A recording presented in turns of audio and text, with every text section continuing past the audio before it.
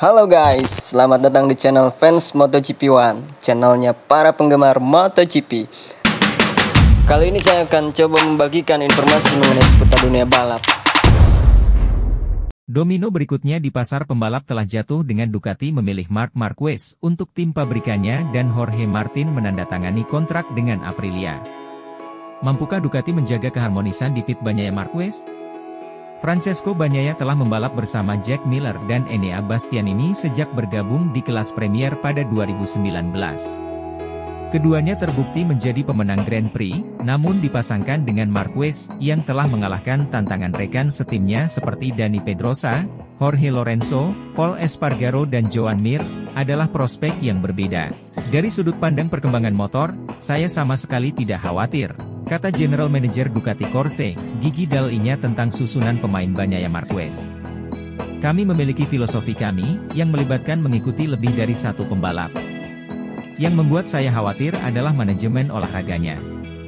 Iklim di dalam garasi Ducati sangat bagus dan tujuan kami adalah terus mempertahankannya tahun depan. Apa arti kepergian Martin bagi peluangnya meraih gelar pada tahun 2024? Ini adalah olahraga dan oleh karena itu pertama-tama kita harus olahraga, kata Dalinya ketika ditanya apakah pembelotan Martin ke Aprilia akan mengubah dukungan Ducati terhadap tantangan gelarnya saat ini. Hal yang sama akan terjadi pada Martin mulai sekarang hingga akhir tahun. Dia tidak akan kekurangan dukungan kami, baik teknis maupun manusia, Dalinya meyakinkan. Namun demikian, hal itu tentu saja tidak akan membantu peluang Martin untuk membuat sejarah sebagai juara pertama era MotoGP satelit, meskipun hanya menempatkan sedikit keraguan di benaknya. Akankah Pramak pergi ke Yamaha yang mengendarai P25? Dengan menerapkan all-in pada Marquez di tim pabrikan, Ducati telah kehilangan pebalap resmi saat ini Enea Bastianini, 5 kemenangan MotoGP, dan pemimpin gelar Martin. Masa depan tim Pramac dengan Ducati juga masih belum jelas, dengan kepergian Martin dan usulan pengganti superstar Marquez secara terbuka menolaknya. Mungkinkah pukulan ganda itu mendorong Pramac, satu-satunya tim satelit dengan Desmosedici spesifikasi pabrikan, untuk mempertimbangkan kembali tawaran satelit Yamaha? Dalinya mengakui, risikonya nyata, kehilangan Pramac, sesuatu yang akan menjadi kekecewaan pribadi dan olahraga. Salah satu cara terbaik untuk membantu mempertahankan Pramak adalah dengan mengamankan penggantinya yang berprofil tinggi, bersama Roquier Fermin Aldeguer, dikontrak tetapi belum ada tim yang dikonfirmasi, untuk musim depan. Rekan setim Martin saat ini, Franco Morbidelli, termasuk di antara beberapa pemenang balapan yang masih ada di pasaran, belum lagi mantan juara MotoGP dalam diri Joan Mir. Namun dalam hal hasil tahun 2024, Maverick Vinales menonjol sebagai satu-satunya pebalap non-Ducati yang memenangkan Grand Prix tahun ini.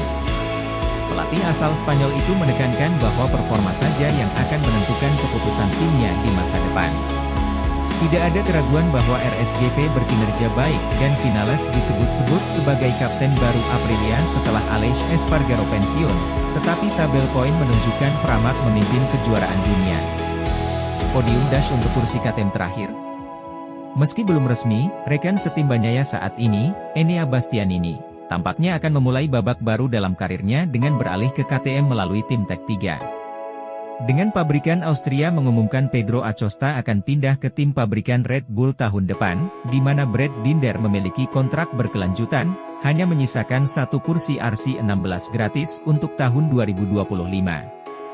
Rekan setim Binder saat ini, Jack Miller, tampaknya terbuka terhadap prospek beralih ke Tech 3, yang juga menjalankan sepeda motor spesifikasi pabrik. Namun, seperti rekan setim Acosta saat ini, Augusto Fernandes, tampaknya ia membutuhkan hasil yang luar biasa. Miller terakhir kali naik mimbar MotoGP di Jerez 2023, dengan Fernandes menempati posisi keempat terbaik dalam karirnya di putaran Prancis berikutnya. Pasangan ini saat ini hanya berada di urutan ke-16, Miller, dan ke-17, Fernandes, di kejuaraan dunia. Bastian ini telah meraih tiga podium sepanjang tahun ini.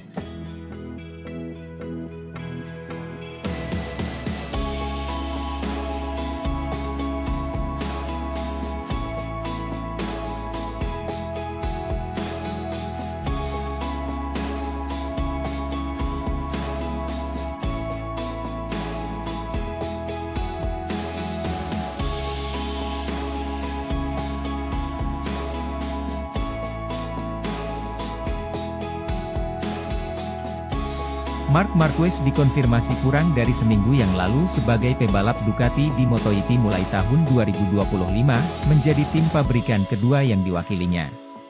Saat ini dalam tahun transisi bersama Gresini, di mana ia kembali ke posisi teratas dengan mengendarai Ducati Desmosedici P23, pembalap Spanyol itu memiliki karir yang dikaitkan dengan Repsol Honda. Dia bersama pabrikan Jepang tersebut antara tahun 2013 dan 2023, memenangkan enam gelar, yang terakhir pada tahun 2019.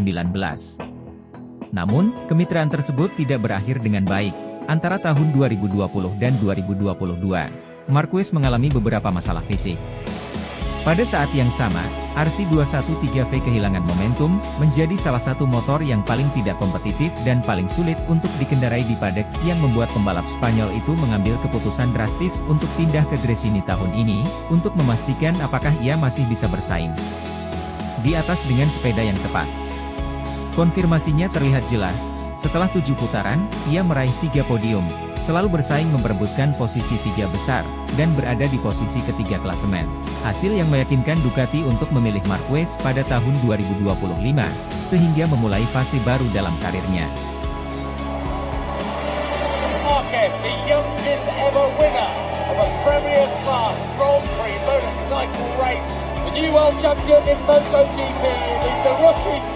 Marquez, the 2014 MotoGP World Champion, the 2016 MotoGP World Champion.